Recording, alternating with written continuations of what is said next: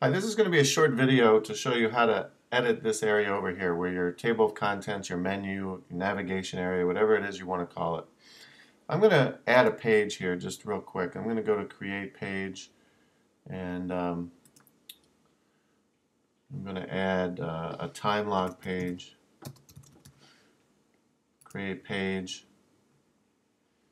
Right, so that comes up over here. And uh, I'm going to save that. But now I, this is not the order that I want. Let's say I wanted the time log underneath the uh, home page.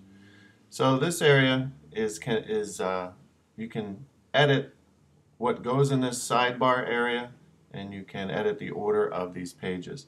So if you go to edit sidebar, you have the sidebar area here and you'll, the sidebar you can have uh, uh, different sidebar items, one of which is this navigation.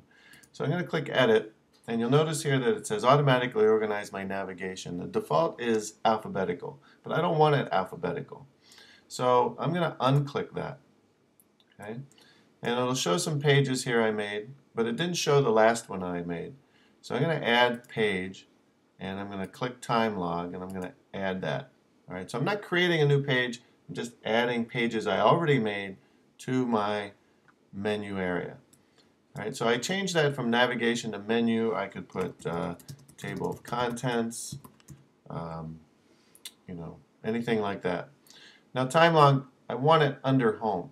So I just highlight whatever page it is I want to move, and I move it up or down.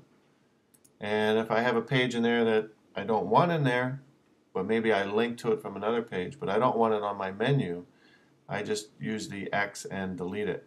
So you notice if I delete time log here, okay, it's gone again.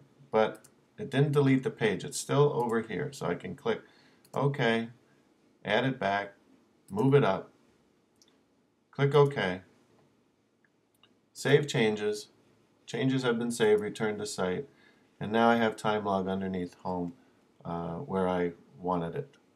Okay, so uh, that is how you edit the sidebar, and uh, that's all. That's uh, that's it for this video.